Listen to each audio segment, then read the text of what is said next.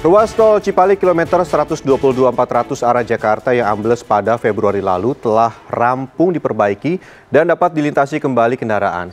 Dengan pembukaan kembali jalur utama tol Cipali ini diharapkan dapat mengurangi kemacetan akibat libur panjang.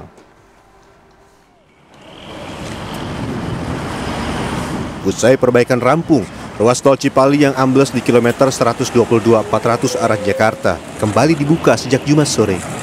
Sebelumnya, ruas tol ini ambles pada Februari lalu. Perbaikan memakan waktu hingga satu setengah bulan. Dengan dibukanya jalur utama ini, jalur darurat sepanjang 400 meter pun ditutup. Menurut pengelola tol Cipali, pekerjaan yang tersisa saat ini adalah pemasangan kabel baja pembatas jalan atau wire rope dan perbaikan lereng di sekitar jalan yang ambles.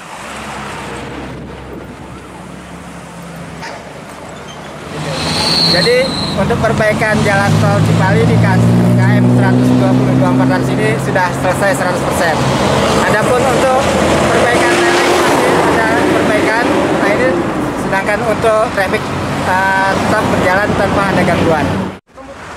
Dengan dibuka kembalinya ruas tol Cipali kilometer 122 400 ini diharapkan tidak ada kemacetan saat arus balik libur panjang pasca.